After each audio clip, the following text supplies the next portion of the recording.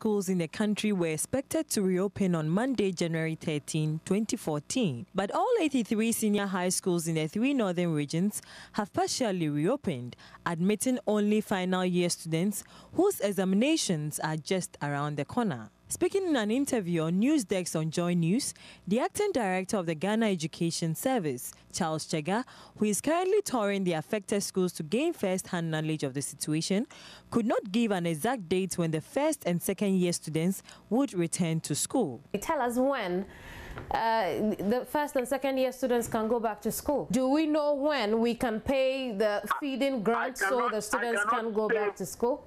I cannot say for certain when because there is a challenge uh, which is a reality, and uh, what we are doing is to um, look at the situation and uh, within um, within its context and, and, take decisions that will enable us uh, to take a, uh, and, and discuss issues that will enable us to take decisions that will address the challenge. He, however, assured the issue would be resolved within the shortest possible time.